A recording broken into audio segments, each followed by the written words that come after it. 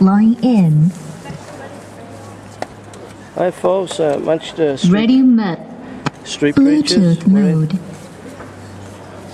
we're in uh, Bolton today. Mike, any words? Yeah, Anything on your heart? um, I just want to get as many flyers out today as I can and have as many good conversations as I can today. Amen. This book that you've been reading, what's the book that you've been reading? The Anatomy of the Quran, Any good? really good, yeah. It really gets into the uh, absurdities, the errors, and the mistakes that are in the Quran. Yeah. Anything that stands out? Um, yeah, there's there's a story in the Quran where it puts three characters in the same historical setting, even though we know from history they were they were born in different eras. So Yeah. I find that quite. I think it's quite alarming. Yeah. I'm quite surprised that Muslims don't look at these things. Yeah. I get the impression that they, they, they look at these things and they just gloss over and they don't bother to really get deep into the Quran. So Amen. if you are a Muslim, I do I do ask you to just look and test the Quran. So what's the book called again? the anatomy of the Quran. Amen. So it takes apart the claims and looks at what it says. Tests it basically. Uh, who was the writer? Do you know? Can you remember the writer? I can't remember the name of it. Um, you know, they put a video of you up debating the other day from when we went down, and I've debated a few of them. Yeah. You've had a debate with one or two, and they put the videos up.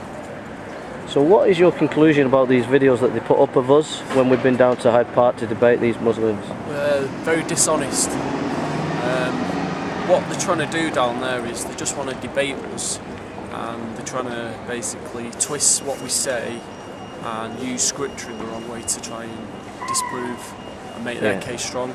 So not, they're not interested in looking at truth or looking at anything that's you know that's, that's, that's solid. They just want to discredit us basically. Rather than actually have a, an honest debate, Yeah. and they edit the videos and they're not truthful with us that way. And and they won't look at their own book as critically as they do the Bible, which is quite dishonest, really. yeah, If they applied the same standard to their own Quran, yeah, I'm sure they'd be, you know, I'm sure they wouldn't do that, but I think Yeah. they should do that.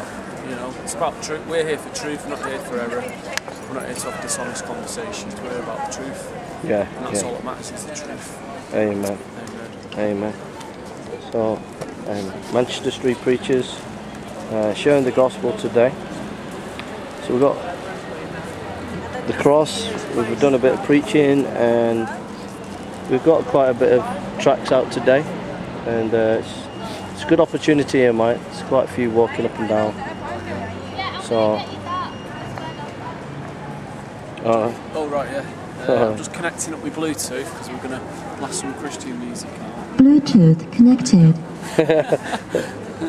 Well, there'll be a guy on YouTube called Blue who criticises me every week. He'll be glad to know what, what Bluetooth is because he didn't know what it was.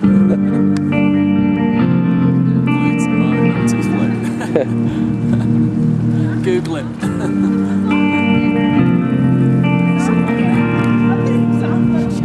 oh look, we've got the crossover there as well. Like refusing how I stand It's great. Where bit louder, you alright? angels fear to tread That'll do that.